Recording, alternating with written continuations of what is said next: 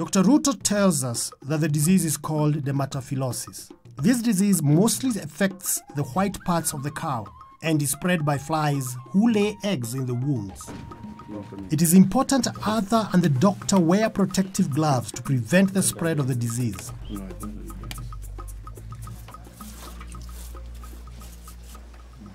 If this disease could have been dealt with at the early stages, it could have been easily treated and would not have spread, saving money on medication. Now, what help can you give to my cow? This one can be treated using some medicine and uh, regular nursing. We normally call tender love care, TLC. How does he give a cow tender loving care? In the morning, wake up, come and examine, touch it the way I was touching. You saw it. Yeah. Touch it, feel it, where there is pain. Now you localize your attention on that side. Yeah. Not only in the morning, pass by in the morning, maybe even around at the noon, it's okay, and in the evening. Come and, and see it, and just some medication we'll give you just for anointing or the putting on the affected parts. Now it's time to start the medication. Dr. Ruto is now showing Arthur how to clean the wound and disinfect it.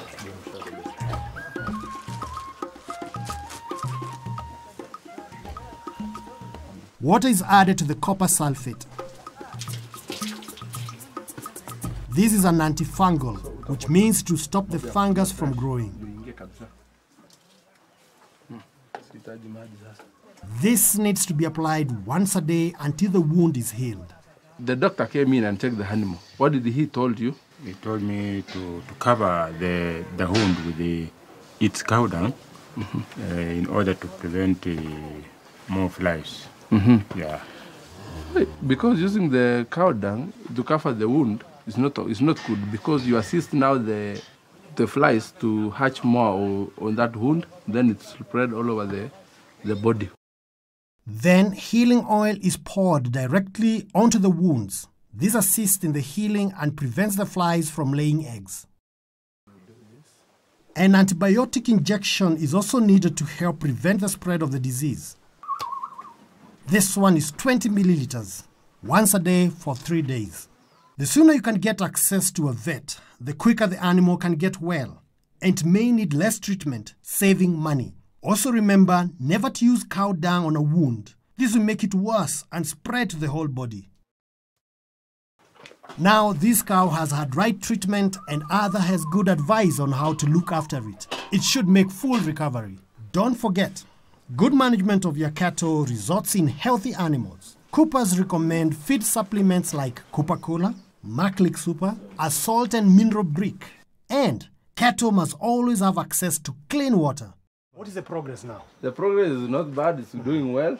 I see Arthur has done a good work since the time I left. Uh-huh. Uh, the cow is improving. actually. Oh, he has given it the tender loving care. Yeah, TLC, it is tender love and care.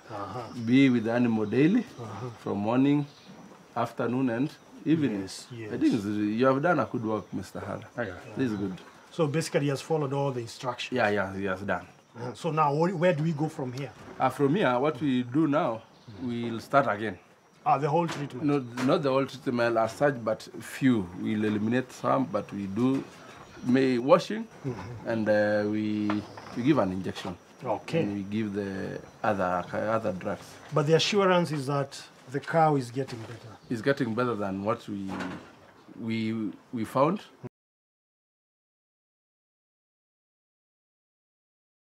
Dr. Ruto cleaned the wound and treated the cow to ensure the skin problem was completely cured.